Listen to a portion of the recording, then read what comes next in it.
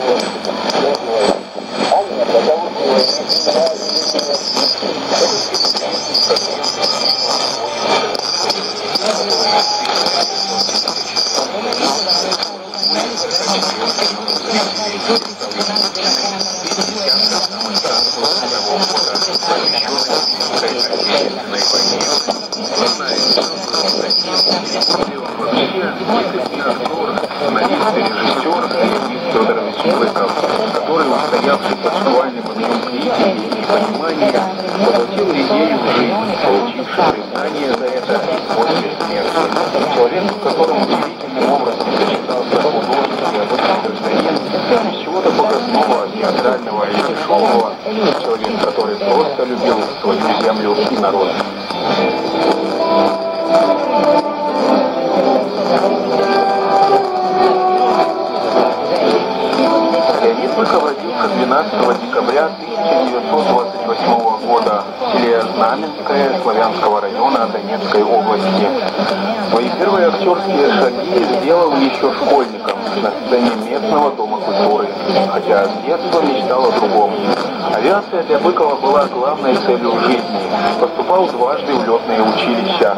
Сначала в годы Второй мировой он хоть и приписал себе лишних годков, ему не повезло из-за маленького роста. В 45-м та же история.